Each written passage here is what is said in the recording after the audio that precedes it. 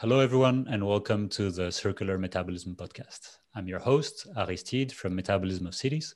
And in this podcast, we interview thinkers, researchers, policymakers, and practitioners to better understand what uh, makes the metabolism of our cities more sober and more circular. Or, in other words, how to reduce their environmental impact in a socially just and context specific way. In this new episode, I want to move away from studying economic alternatives, technological solutions, and policy measures and get back to an essential question, which is how do you plan and design cities in order to make them more environmentally friendly? In fact, there is a very intimate relationship between the territorial organization of a city and how that city consumes their resources, uh, but also how they will reuse waste flows within the city or elsewhere. So, in other terms, I wanted to discuss uh, with one of the world renowned architects and urbanists, Paola Viganò, about what, what does it take to, to plan a city. Paola is the co founder of the architectural studio, uh, architectural study studio, uh, and professor in urban theory and urban design at the EPFL in Lausanne, but also at the UAV in Venice. Um, she has received numerous awards for her work, including the French Grand Prix de l'Urbanisme in 2013, the gold medal for Italian architecture in 2018.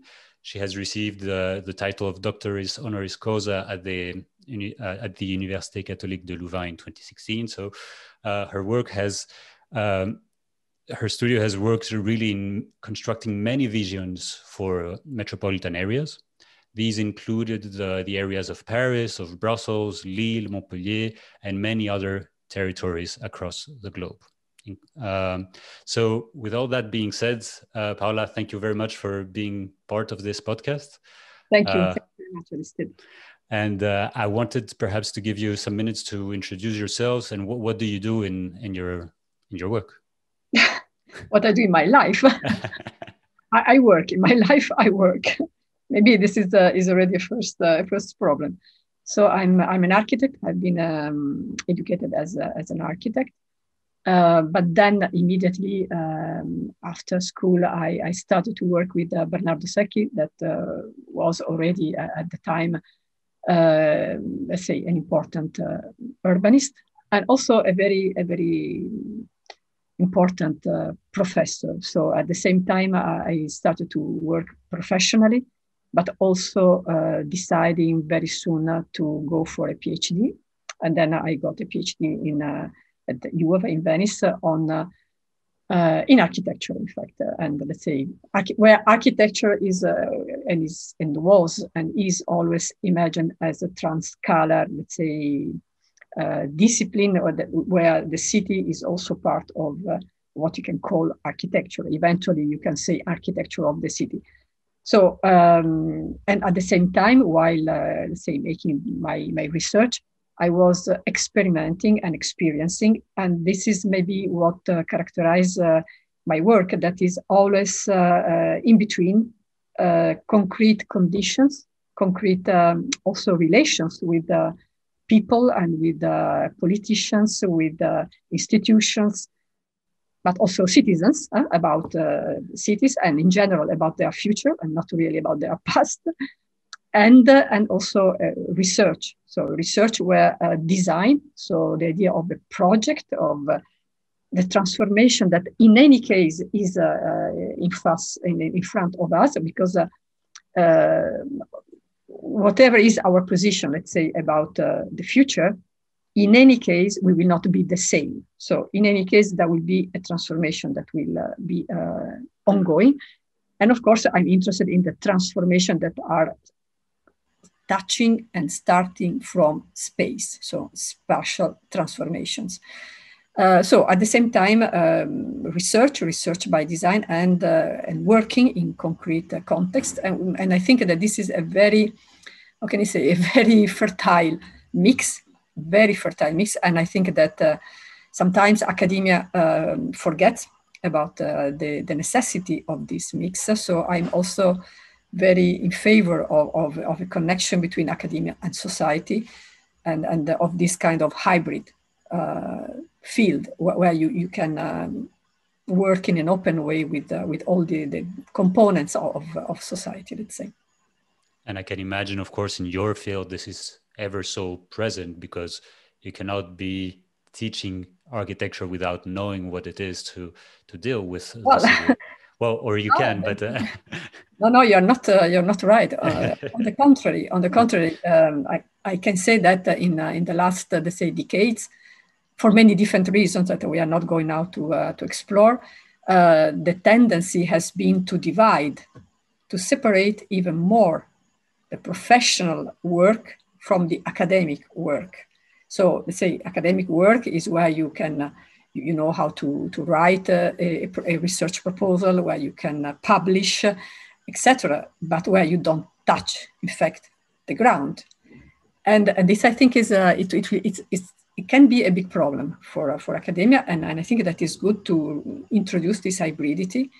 Uh, also because uh, from uh, the perspective of a designer, I mean, in fact, a designer really uh, needs to touch the ground because uh, uh, the constraints of, of the ground are something that is really helpful.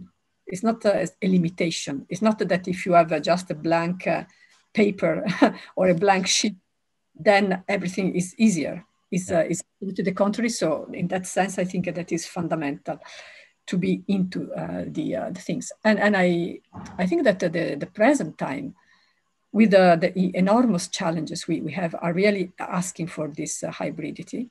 On one side, we need, of course, uh, say hard research, scientific research to, to nourish and to be integrated as much as possible with the, the spatial perspective, with the transformation, with design, the design transformation.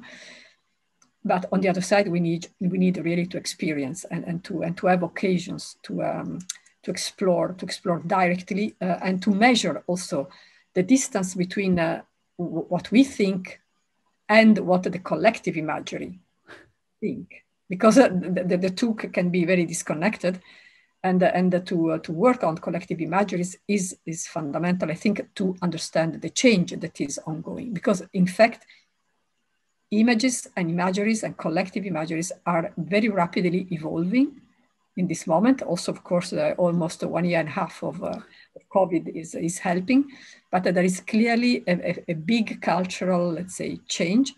And, uh, and I think that we, we have to be there. We, we need to, to participate and to connect and to discuss and to open up our, our, our thinking, let's say, to, to, to the rest uh, of, of society. So you mentioned something quite interesting, which you said, of course, that the limitations are perhaps structuring uh, the way that you work or that uh, architects or urbanists uh, could or should work.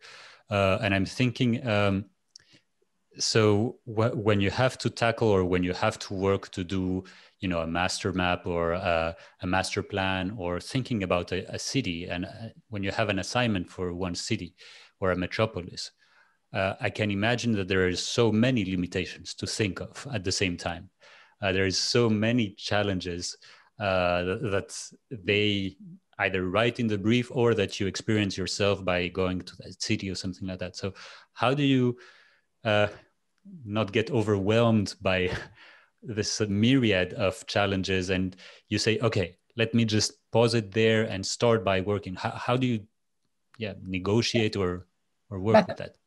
Maybe uh, first, uh, uh, let's remain a moment on uh, on the idea of limitation. I think it's uh, it's, it's it's a very good uh, point to to reflect on the on the current condition.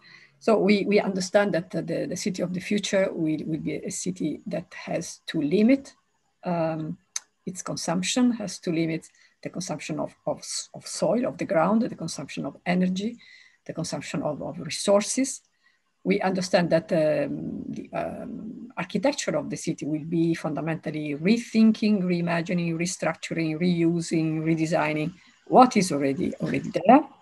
So one can, can say, okay, then the limits are really too much. So where, where can we put our, our imagination? How can we imagine then something different? Now, it's uh, one of the traditional uh, questions that I, I'm, I'm asked to answer is, how will be the city of the future? yeah. And I, I'm always very deceiving because I think that the city of the future will not be fundamentally, I mean, it's not, it, it will not be another city, but it's the city of today. So one can imagine that there is a problem of uh, excessive limitation of our extraordinary imagination. On the contrary, as I was saying before, uh, limits and, limitations are simply helping us. They are simply um, giving us some resistance on which you can bring your or you can uh, express your, your uh, imagination. And uh, to make this even more clear, I, I take uh, an example that is um, a fantastic um, books uh, by Marcel Proust, La recherche du temps perdu, um, that, that has been defined by some literary scholar uh, as, um, as being um, literature at the second degree, littérature au deuxième degré. Um, because, in fact, you find inside uh, uh, La Recherche everything everything that was already been said or, or written, published, uh, is like a, a sum of uh, different types of literature, probably high literature, very popular literature, common uh, terms, uh, uh, way of, of, of using words, uh, characterizing a certain epoch, etc. So it's, and this is, is in a way reusing um, elements of, of, of, of, literature that were already there. And, and then you can say that this is a masterpiece. So it's a masterpiece, this is a totally new thing that has a completely um, a revolution, let's say, in, in, in the art of, of writing and of imagining the, the narrative uh, uh, trajectory, and is made with existing things. So for me, the city of the future is very close to the recherche du temps perdu. So it will be new, it will be different, but it will be uh, really reinterpreting so the, the, the, the themes of uh, stratification, of uh, palimpsest, of uh, mm. also reduction of consumption. So really understanding that there is um, matters, materials that you can, uh, you can uh, work with, that uh, you can rethink uh, the old typologies, that you can uh, may give uh, buildings, uh, infrastructural works uh, several life and not just one life. I mean, th this is for me, uh, I have a sentiment of freedom, of great, uh, of, of extension for, of the possibility for our imagination, although it will be re reflecting, reusing, re, uh, readjusting what is already there. So I, I, to make it maybe even more clear, I feel as if we were, I don't know, uh, in the 20s of the last century when uh, the uh, architects and urbanists of the modern movement of um, what was called the rational architecture or uh, the functional city, they, they were writing a manifesto no, about what should have been the city of the future. And they were interpreting that period, also the civilization based on uh, industry, machine, exploitation of resources, etc. For them, you had to start from scratch. Without that, you could not design the city of the future. Now we are, let's say, at the opposite.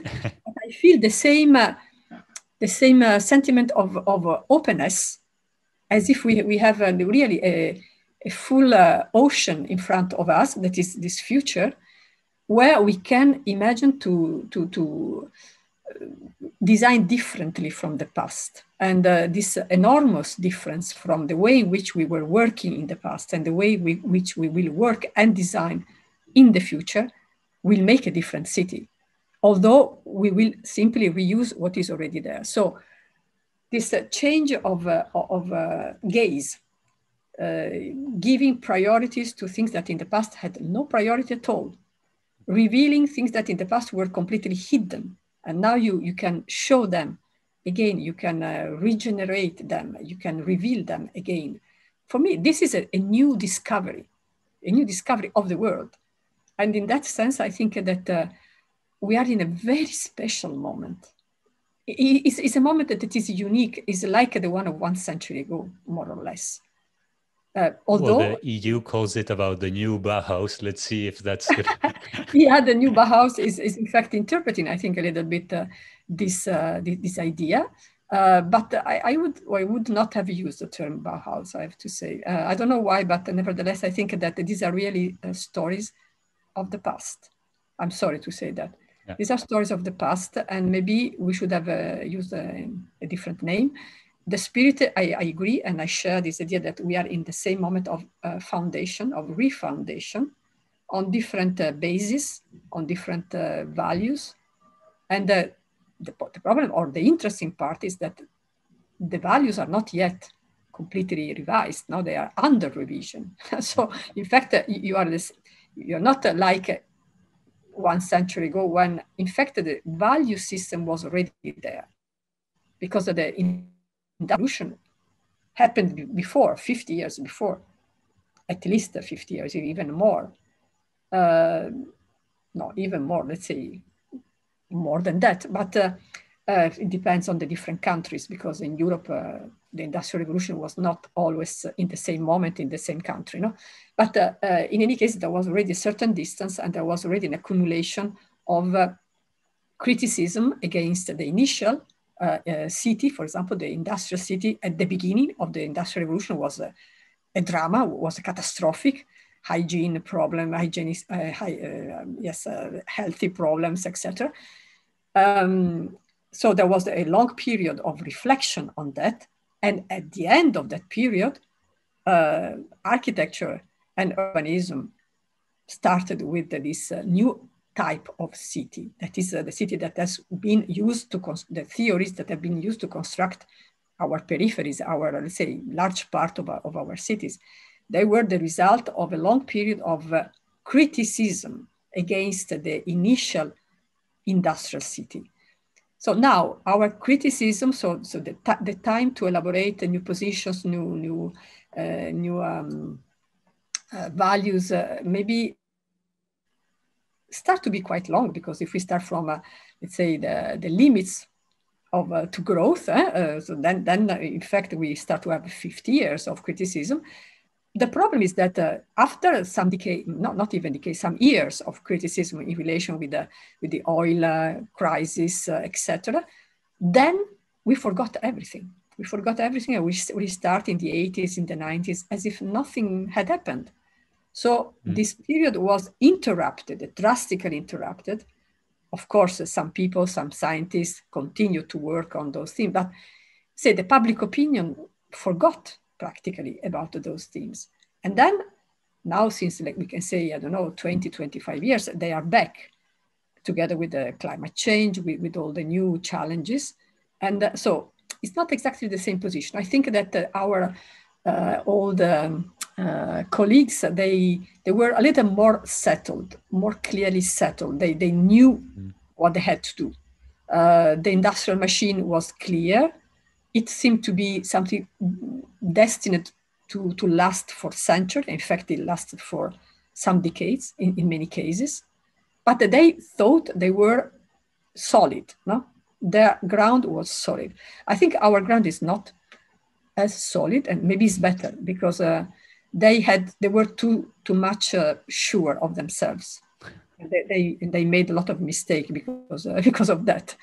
I mean, they, they, it, it, enough, to, it is enough to read uh, some text of Le Corbusier to understand how much Le Corbusier was sure of what uh, he was saying as a kind of truth. We are not. And I think this is very good. So I prefer to have a less solid soil on which we can, uh, we can work. And uh, of course, there is this problem of uh, value change, but is, is a problem that uh, say you can uh, you can revise. You're not immediately into the uh, construction of a new dogmatic plan. No we, we, are on the contrary in try to, to, to understand. And i think this is this is, very uh, healthy let's say in the in in being being in the in the situation to decide for the future uh, of cities and territories but I think you're right. I mean, you, you very well put it to, I mean, put it forward that you know we had some challenges in the past like in the early industrial area there was this let's say haussmannization of europe where they kind of cleaned neighborhoods and destroyed neighborhoods to to make uh, boulevards and infrastructure and all of that and then we had another period let's say early 20th century or mid 20th century which was uh, or just after the second world war where we you know just had yeah. a massification of, of buildings and all of that. And today there is something different. But in all of these periods there, there was always a societal challenge uh, um, an economic justice challenge. Uh, there was an environmental challenge uh, in, in, one way or another. And so these are always there. It's not as if uh, you know it, it's a new word and it's the first time that we have to juggle with these problems. No absolutely. But now they're i mean now you, it's almost you don't have more space to move. They're all touching each other. Before yeah. i mean you could always go from one to the other let's say. You you can more or less uh, increase social welfare back in the day but you destroyed the environment or i don't know the economy. I'm making this up but uh, today everything is so interlinked not only here but at a global scale that yeah. well there's no more space to move. You have to address the challenge. Uh, whereas in the past you, you could Absolutely. yeah. Yes. I would say the challenges are different also. Mm. at least we perceive them as very different. Um, there are some continuities. That, that will be interesting eventually to to, to go deeper because, uh, for example, if you take uh, one element important in the city of today, and it will be even more uh, relevant in the city of the future, is uh, the presence the presence of uh, green and open space. For example, no? mm. this is not a new theme at all. Mm-hmm. This is a, a, traditional theme because, in fact, uh, the city, the modern city, was exactly the city where uh, the idea of air, of sun, of, uh, of a more healthy condition, uh, immediately brought into the city parks, uh, um, the big boulevard, but um, even at a smaller scale now, this idea that uh, the, the, the access to the open land had to be guaranteed. Um, sometimes we, we forget this, this because maybe we think that we have to densify, that it's very important to, to, to, to, to make the city as uh, um, compact and dense and, as possible, but then we, we are forgetting that in fact that those open spaces are absolutely crucial. And today, on the basis also of, of the more recent research on the, on the urban soil, on the urban uh, biodiversity, uh, we know how important it is to have this uh, empty spots that are not empty at all, but they can uh, contribute with their presence to a well-being that is not only our well-being, but is also the well-being of, of the system uh, in its uh, in its entirety. So we have to be very, very attentive uh, to to the to the loss of uh, of these spaces, which are always under under threat. In fact. Uh, and, and this is not a, a, new theme, but is, is a very traditional one. And the city, the modern city has to be reframed and, and uh, reread, uh, maybe selecting some of the, of the interesting aspects that nevertheless are still, uh, are still present and to maybe um, update them or to reframe them in, uh, in, uh, in our moment. While there are other aspects that are for sure uh, to be abandoned, that we are not interested to bring them into, into our. But uh, for example, if I take the question of uh, the regeneration of nature in the city, um, there are very important projects uh, of the 30s, so almost one century ago. Uh, in, uh, in Sweden, for example, there was this school of landscape architecture in, in, in Stockholm in the 30s that was clearly working on this regeneration of nature. So where nature inside the city uh, was not present before, but was reintroduced or reinvented.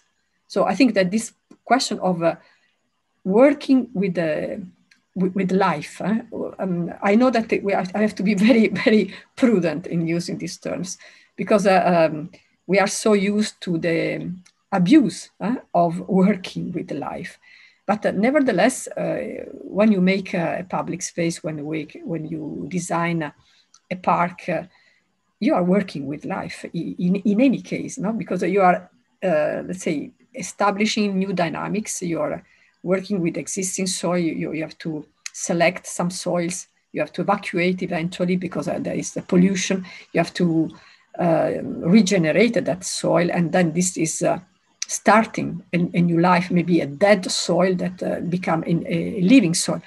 These aspects are not only aspects for pedologists; these are aspects for for designers, and and I think that uh, it's uh, it, it, also show shows how by uh, reworking on on uh, on what is there, in fact, uh, the the margin is, is very is very high, it's very large. There is so much you can do simply reworking on what is what is there. For example, from a dead soil, you can pass to a, a living soil, which is which is a revolution in a, in a way. And so, do, do you have like a small voices that tell you, look, uh, there is a social, social challenge that you need to take into account. There is an environmental one that you need to take into account. And then on the other side, you have someone else that says, well, will that create jobs? And what about, you know, where our kids are going to go to school? And so do they all have one vote or how does it work? You know, how do you, uh, well, I, think that you have to imagine uh, yourself, I mean, the designer um, of uh, cities, uh, territories, landscape, uh, has to, is always, uh, is, is, never alone, of course. first of all, we have to abandon the idea that we are creating, we are simply, we are simply, um, simply, I don't know, in the way guiding a conversation. Mm. and this conversation is, is, is, is very rich sometimes it's, it's conflictual and, and you have to guide also through the conflict and that's part of the story in some, in some cases you have also simply to to retreat to abandon because maybe you don't share anymore certain directions so i mean everything is possible but in, i imagine this as a, a table no? so we are around the table uh, around this table i, I see of course uh, the politicians. So there is politics around the table. There are citizens, there are um, the stakeholders, so there are also the big actors, and there are also other uh, other things, or let's uh, avoid the, the, term things. So there is the soil, there is the water, there are certain landscapes, and I think my table, at least the table where I sit, is made like that. And even if uh, certain um, individuals are not really present, I think that there is a kind of responsibility of, uh, of us to represent also those that are not around the table. Because around the table, there is never everybody. Mm-hmm. Someone is always, is always out, out of the table. And it can be human or can be not humans. But in any case, the table is never complete. And I think that you, you have to make an effort as designer to bring at the table um, let's say, uh, implicitly or explicitly, uh, the different individuals that we know because we look at, uh, at things, we look at uh, uh, landscapes, we look at um, housing, we look at infrastructures. We know that they are inhabited. So we know who are the inhabitants.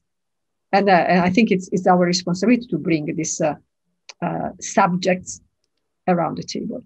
And maybe this is a, a moment to introduce um, what I think is, is, is a fundamental shift uh, in, in our perception of, uh, of the world where we live is, uh, for me at least, it has been very important the, the shift in uh, looking at the territory as an object or try make, making the effort to look at the territory as a subject.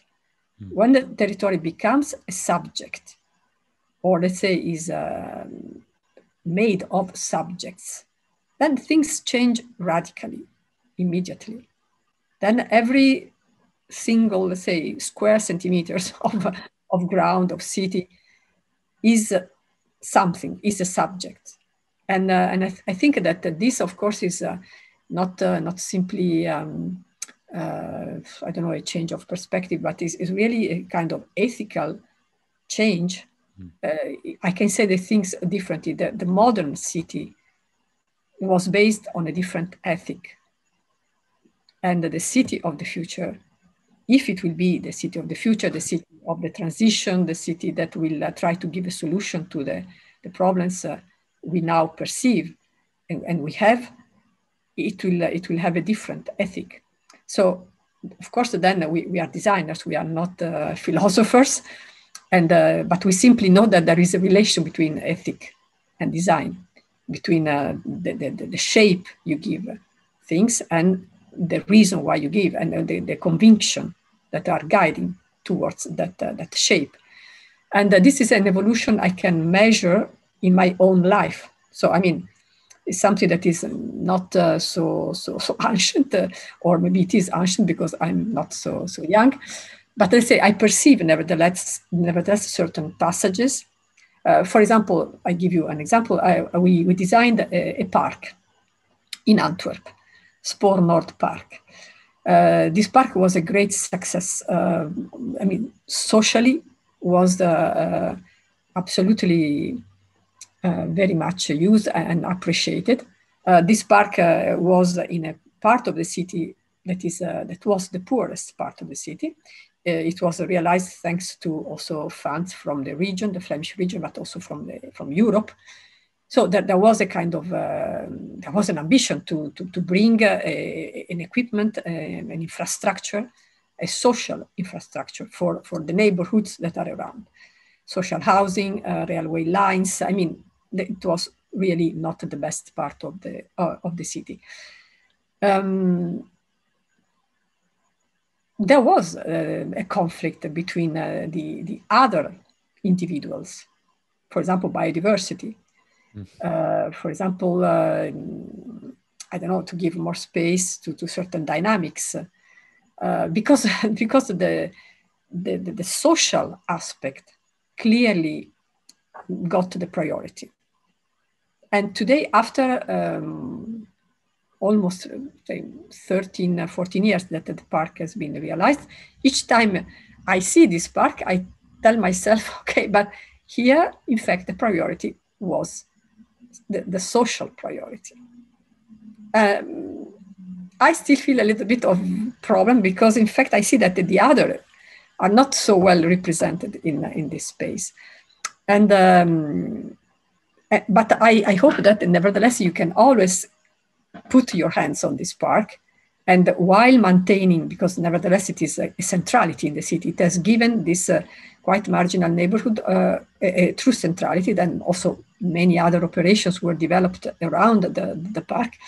Uh, but, but maybe today one can try to make a coexistence between this social, very strong social aspect, uh, the densest part of the city where there was a, a, lack of green spaces, and then the need of, of uh, such a, a, big, uh, a big park.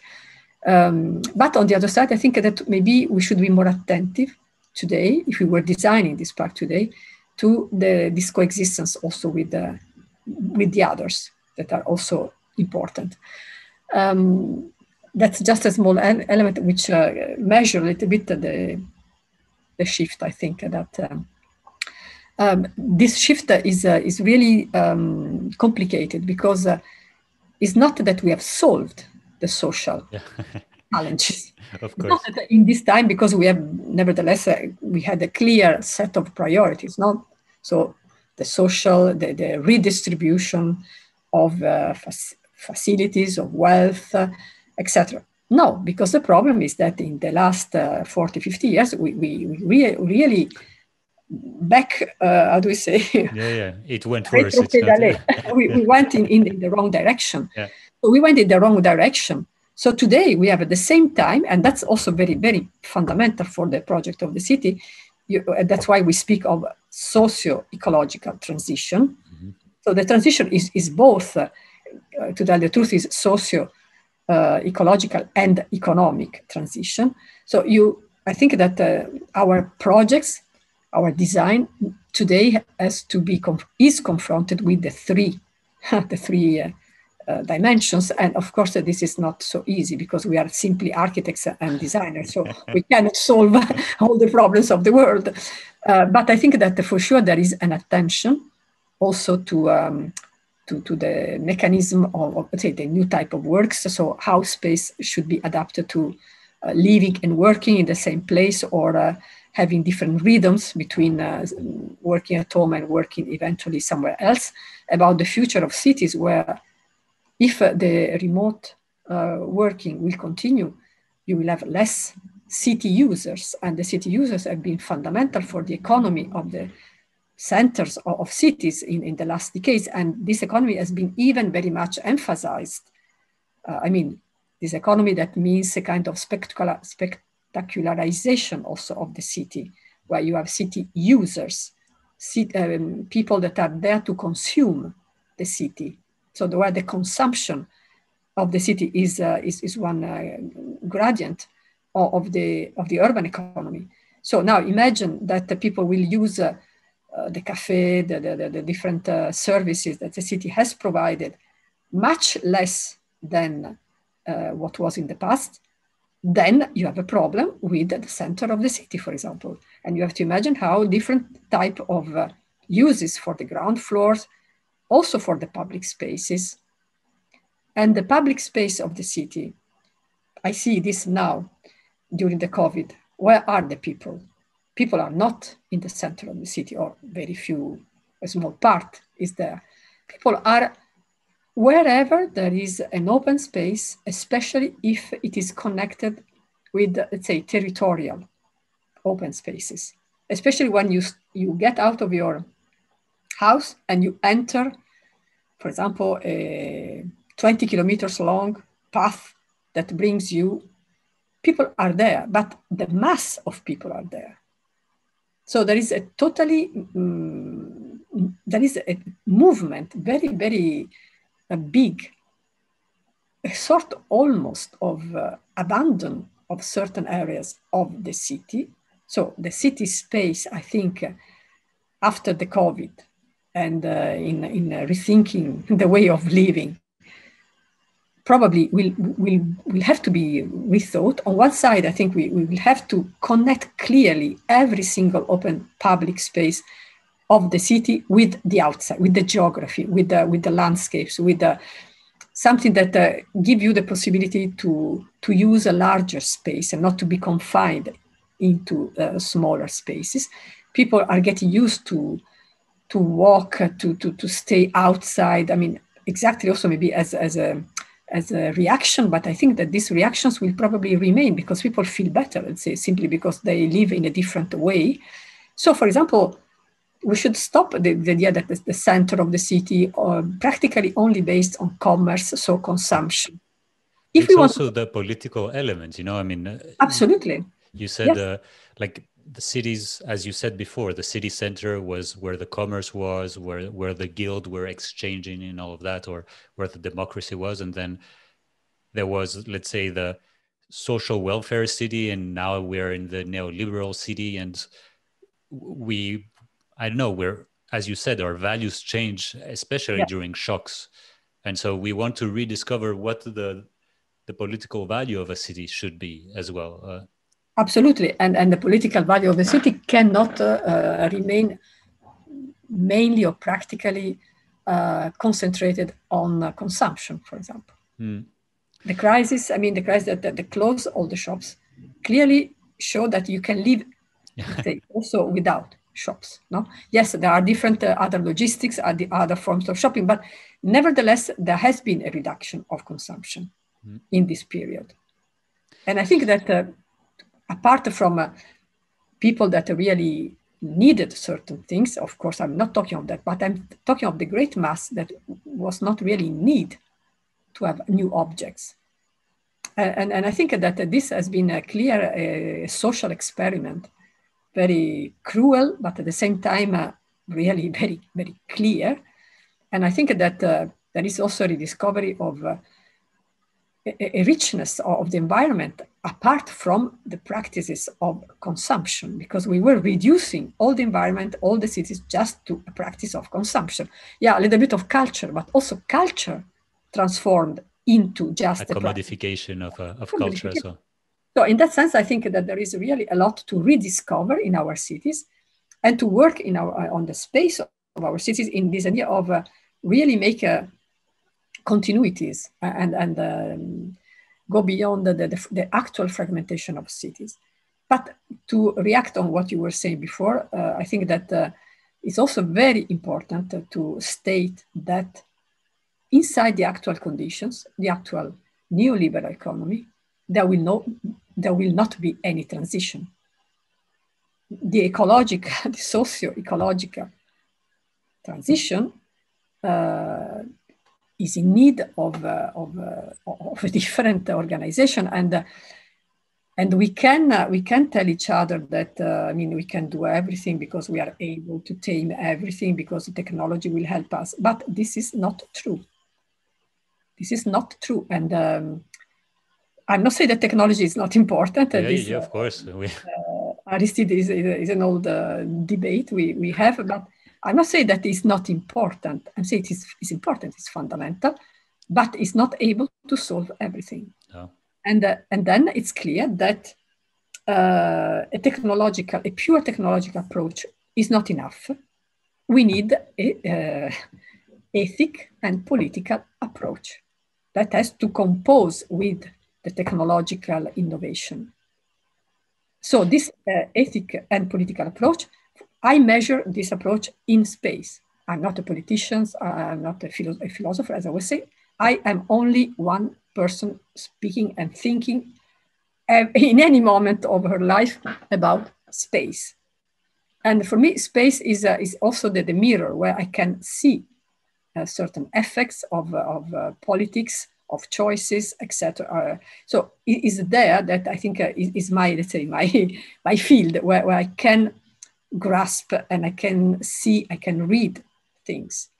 And I can also, of course, imagine to design something to to, to change direction. So the transition of space, the ecological transition in space, will not be possible without uh, some uh, reflection a, of a larger order. And I think that there are so many people today that are thinking the same.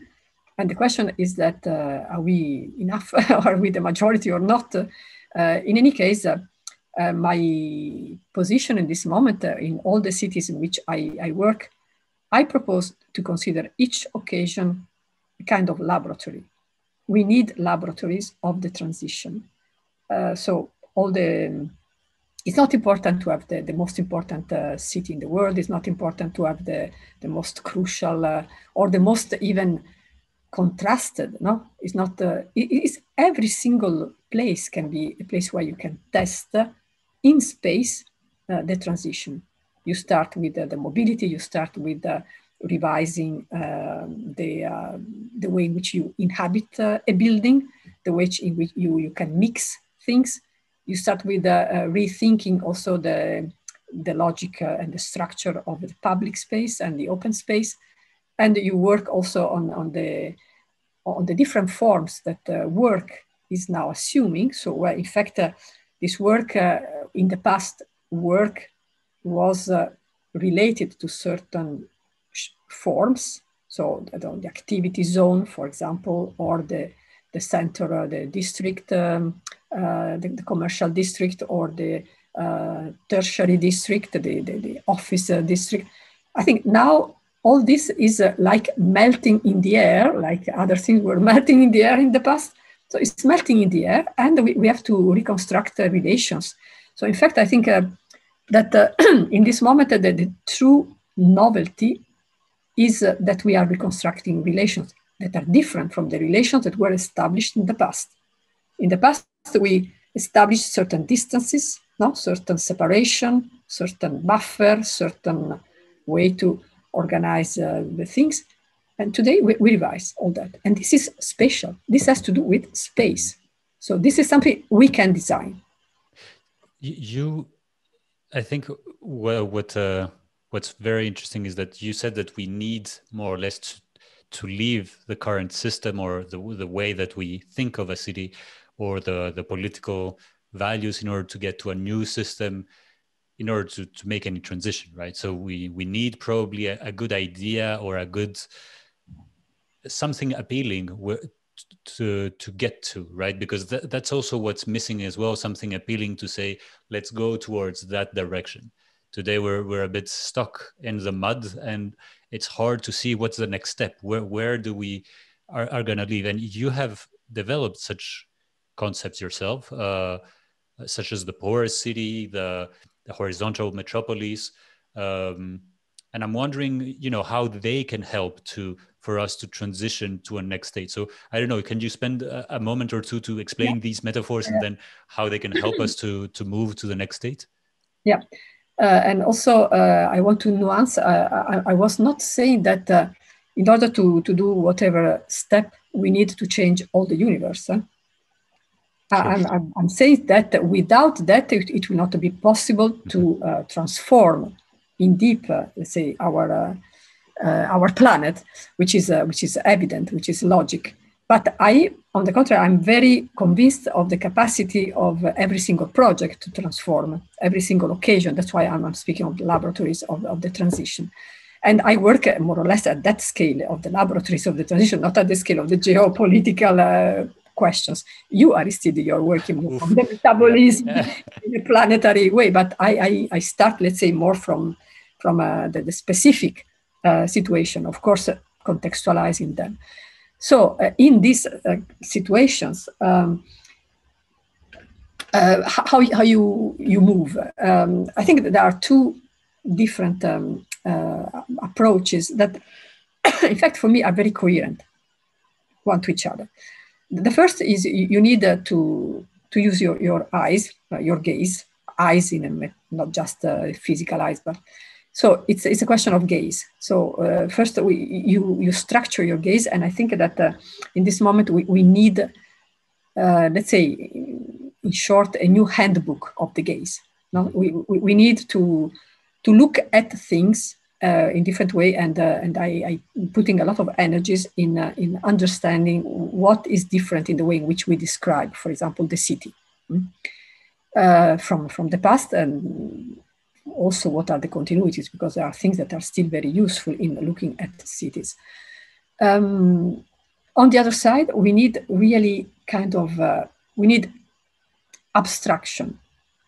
We need to set an abstract condition, a, a, an abstract space or a space of abstraction where you can, uh, in a way, reconceive the, the, the situation because otherwise you, you get completely prisoner of, of, of the limits that you were probably talking of at the beginning that where you, you, you have the impression that everything is so heavy but the city is heavy yeah? to change the city is not something you can do in a no is in a light way uh, you can make some light things but to change the city needs time and needs in general also uh, investment, infrastructures, and, and, and, uh, and transformations. So from the, from the, the, the need to uh, reorganize your gaze to the need of uh, maintaining a space of, of abstraction where you can reconceive situations. Uh, I think that the two really work very well uh, together. So in this space of abstraction, for example, we have put certain concepts. These concepts uh, we, we have worked out uh, together with Bernardo Secchi, uh, especially the porous uh, city and the isotropic territories, or let's say first the isotropic territories and then the porous city. The horizontal metropolis was coming out of the, our common discussion because it uh, stemmed out from the work on, on Brussels. But then I prolonged, let's say, and um, probably also reopened a little bit this, uh, this, this concept. So this trilogy of concepts, so porous city, isotropic territories, and horizontal metropolis, they propose three big, let's say, conceptual uh, or let's say figures or rhetoric figures. No, but the, the porosity is uh, is about our body relations, in because uh, porosity is uh, something fluid that is uh, percolating through a mass. No, so th there is this uh, contact between uh, the fluid element and the mass. So there is really friction no? you pass through. And, and this is, is a concept that, that is very interesting because you can speak at the same time of the physical permeability of the city, the connectivity of the city, but you can also speak in, in a more uh, metaphoric way or also social uh, way of uh, relations among people, among different groups uh, in inside the, the space of the city. The space of the city acts as a as a sponge or as a stone. It depends. No? In some cases, it's just a stone. You cannot go through.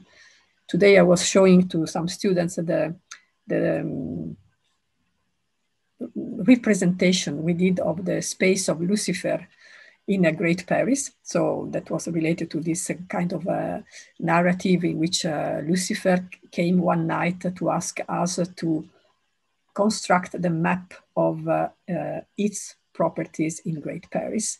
Okay. So we, we, make this map, but and we made a collage together with the students.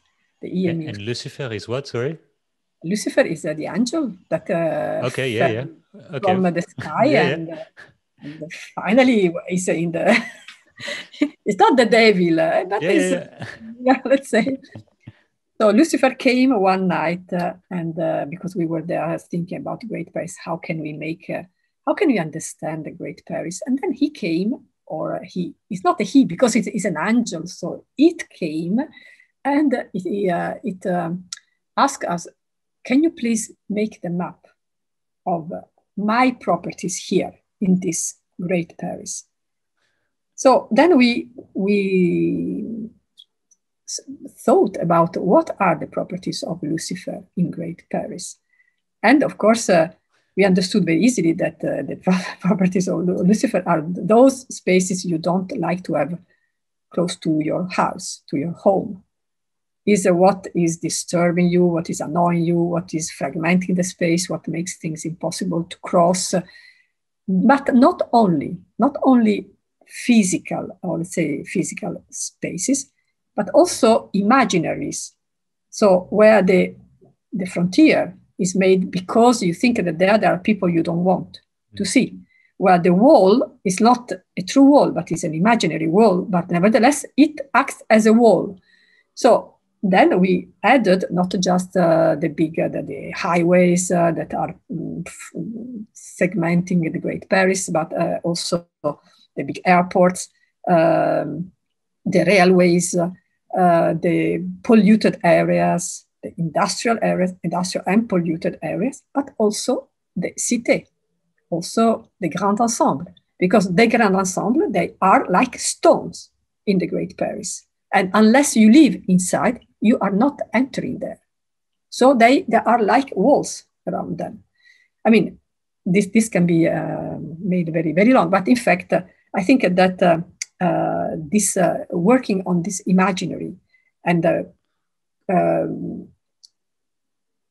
say merging this also with, with the, with the physics, with the, the, the, the, how rigid space can, can be also physically, so physically and in relation to the social imagery, uh, for example, produced uh, these two, one collage and one map that was then put close to the, the map of the rich and of the poor, where you could see that there was a clear correlation between the space of Lucifer and where the poorest of the metropolis live, because there is this correlation or even this relation.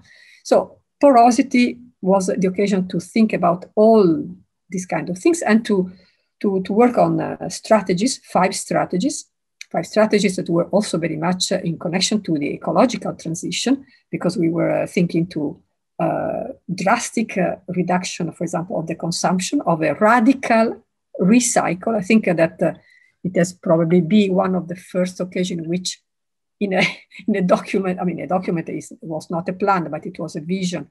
It was clearly said 100% recycle. So as a kind of future in which the reuse is the 100% of the operation. So there is not, not so more than that.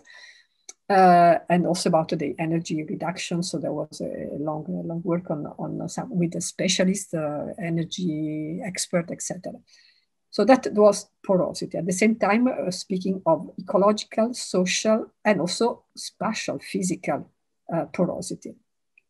A porous city is a city where you can flow through, mm-hmm. where it's not transparent. We have to be careful. The, the porous city is not the city of the modern, uh, it's not the modern city with the infinite space, a pilotis, uh, a ground that it is 100% completely open. No, porosity always consider that there are some resistances, no? but, but that nevertheless you pass, uh, and each time you, you have to negotiate maybe how you pass from one point to another, from one part of the city to another part inhabited by different people. But porosity is a, is a fundamental concept that we, we brought from uh, Benjamin, uh, writing about Naples as a porous city. The second, isotropy. Uh, isotropy is uh, same conditions in all directions. So you have to imagine space, uh, the urban space, where in all part of the city, you can access to the same uh, quality of life. So that's in, uh, in short uh, the idea of the of isotropic territories. Why these isotropic territories? Because uh, uh this uh, this concept is um, very much related to the explorations we did in the diffuse city, different type of diffuse uh, extended urbanization, where in fact what, what, makes this type of urbanization work in the best case, let's say, is uh, this uh, isotropic distribution so that you can live everywhere, but you are not the periphery. You're not the periphery of anything. Mm-hmm. You are just uh, put in the same conditions as the, the rest.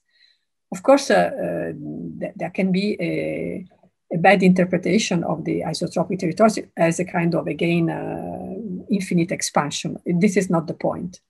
The point is the, the urban territories uh, are inhabited and the condition of inhabitability should be the same everywhere. It's very simple. This doesn't mean that everywhere you find a museum, you find a, a station uh, of, of, a TGV. No, it's not this the point. But uh, th- there must be a careful understanding of, uh, of, of, the, of using space to bring the same conditions everywhere.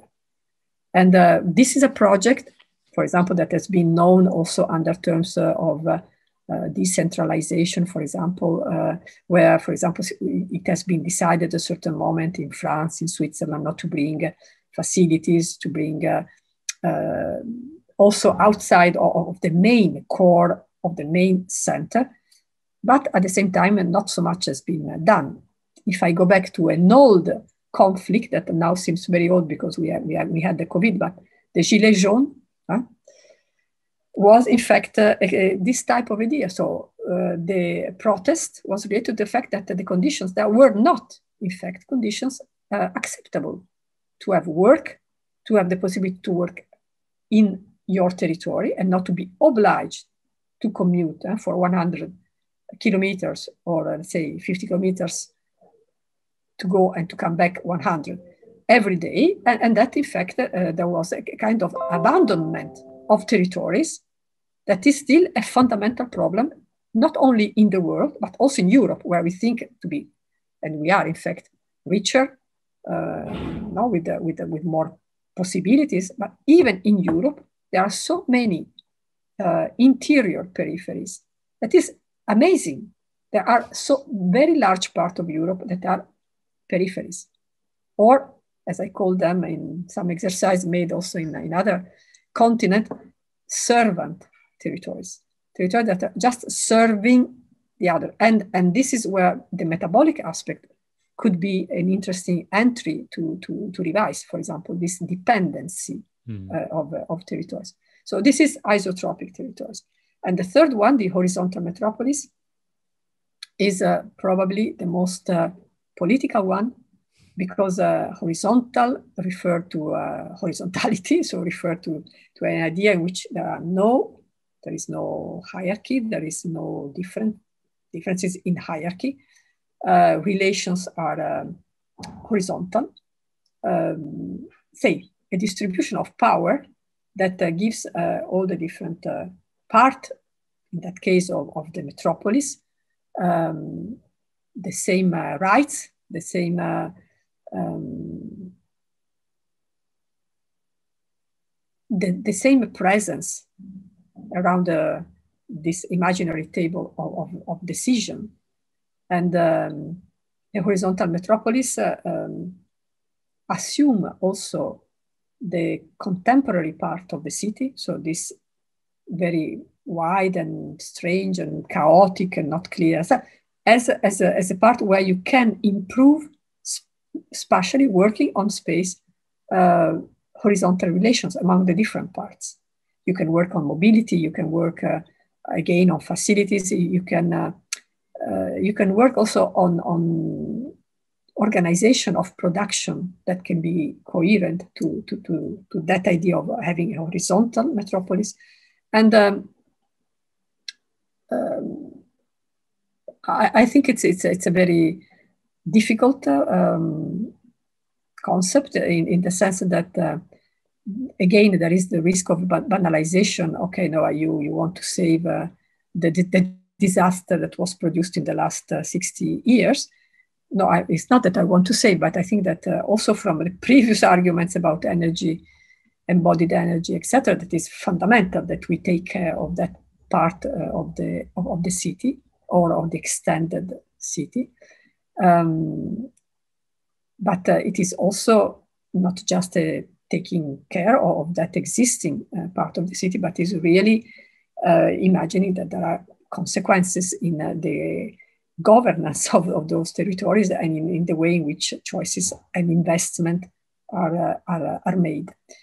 Um, and I think this is a little bit um, difficult in the sense that uh, many, many occasions uh, by bringing this uh, hypothesis, I, I really understood and felt a kind of fear to be a little bit scared of this idea of horizontal metropolis as uh, something that is englobing or that eventually is flattening existing privileges, for example.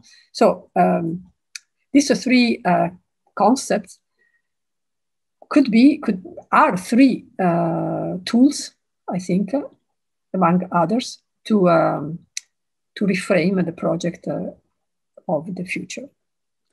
Uh, I want perhaps to conclude some elements with you as you have seen the evolution you said also as to what cities uh, the, the ambition of cities uh, into reducing their their impact and to uh, reframing the questions. Do I guess uh, from Paris, uh, which was already 15 years ago, something like that, the, the Grand Paris to to today, do, do you feel that the the cities themselves, as administrations, are are are considering themselves as subjects, as as people that need as responsible subjects and and actors that uh, that are here to to change something or how do they position themselves no, no i think that the you're, you're speaking now of the uh, of the uh, administration and the mm. political level uh, of cities. Um, yes of course and uh, again if i um, speak of laboratories of the transition is because um, I, I, propose to to the cities with uh, which we, we are we are working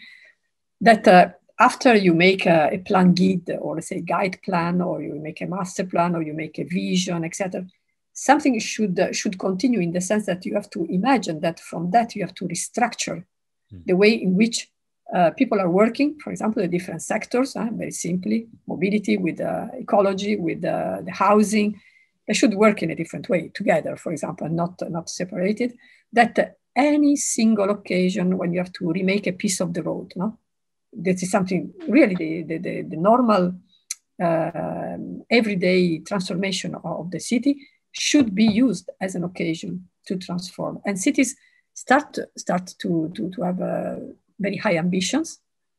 Uh, they have a lot of now of them have a climate plan that are really bringing also this perspective in, in a more clear way because uh, in fact uh, there are engagements that are that are taken of course, there is, uh, in the case of Europe, which is not uh, still for the moment the case of everywhere, but uh, there is a clear agenda from Europe. So cities are also, in a way, pushed very, very strongly to go in that direction. So I think that cities are all now entering the idea that uh, the transition is a serious uh, moment and that you, you have to, to transform your, uh, your, your practices. still, this is not easy. It's not easy because uh, there is a problem between uh, not the, the time uh, horizon of, of the politician and the time horizon of the transition. The two things uh, do not uh, really match, and this is problematic because uh, when you touch the the concrete situations. Of course, uh, the conflict immediately are there, uh, starting from the most simple one, for example, the, the, one around the car, the position of the car. Uh, nevertheless, for example, now we work in the idea that uh, those curves that are um, showing that in 10 years uh, we will be really lower in terms of use of the car, we have to take them seriously. It's not just rhetoric. It's not just an image that you put there. So if you make a project, we make project that maybe we need five, seven, 10 years, 15 years to be realized, then we can use those uh, curve as arguments in favor, for example, of the liberation of certain spaces, of certain soils, and so on. So I, I think that uh, taking seriously the transition and, and making kind of good uh, relation between uh, the data mm. elaboration and the design, because again, a design uh, is done today, but uh, the time to be implemented is, is long normally, is, is um, often too long. So these two things can really work together. And working together, you have the the space that is really coherent with the, the, data, for example, or the position where you want the curve to be. And that's, that's fundamental because this makes very concrete what is the transition. Mm. You can fix certain uh, goals. You can design uh, coherently to those goals. And you can imagine that when you are there, the space is the good space that you are uh, expecting. While today we are making projects or we are realizing projects that are old projects. And uh, the big operations, especially uh, the big urban projects that, uh, although many, many people think that urban projects do not exist anymore, but they, they exist. There are so many big areas that are going to be transformed in the future on which you, you have very big plans that have been discussed for 20 years. They are old. Today they are old they are outdated. this is a problem huh? because uh, they were the, the, the, the, result of negotiations. But negotiations were around the table, not all the actors were present. Only few actors were present that could really negotiate. So that's a fundamental point where we see the inertia of the city. And they say our work is not only work of imagination of the future, but is also a work in which you have to never forget the inertia that is not only in the physical space, but it is also in the previous projects, in the previous uh, discussions, in the images that were used to speak about the city. And you, you work with this inertia and you try to, to move a little bit, to bring some, uh, some shock, let's say, inside this inertia. So I generally finish the podcast with two small questions, which is what, what are you what's the the very exciting project that you're now doing in 2021 until the end of 2021 is there something that really is very interesting or new or? For me all projects are not not really all all but uh, almost uh, almost all projects. Well um, we are working, for example, on a vision for, for a, small city, but with a, a big imagery. so that is small but big because it's uh, very present and in the collective imagery. We are um, working in a very um, in, in, a very complex and uh, and also um, some some way disturbing condition that is to work on top of a, a, a, very big infrastructural project. So a very big infrastructural project on top of which there will be public spaces, green spaces, etc. This is, is, very, is very heavy for me because I, uh, I recognize that this project is not exactly up to date, but it is a project that is strongly socially uh, wanted. I mean, there are thousands, thousands of people, as big associations of citizens that want to have that project. So again, we go back to the question of sport north. It is between society and ecology. I mean, the balance, uh, you have very time to understand exactly where it is. But we are trying to make of this project something interesting, eventually innovative, uh, considering that we are really working on this new nature that is uh, It will be the result also of uh, and the new social space at the same time. And um, what, what else? Uh, I, I have a book. I have a book. I'm, ah, I'm working great. on a book that is uh, almost concluded, but uh, again, I mean, it's not easy to to enter.